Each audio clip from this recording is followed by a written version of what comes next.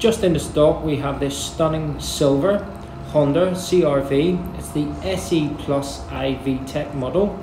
It's a 2 litre petrol and it is two wheel drive. There's just around 15,000 miles on this car, so super, super low. And it comes packed with accessories, the likes these diamond cut alloy wheels, touchscreen inside with reversing camera, front sensors, rear sensors, remote central locking, air conditioning, all electric windows, DAB video, USB connection. There's abundance of stuff this car comes with. If you need any more information, by all means give us a call on 02891 272701.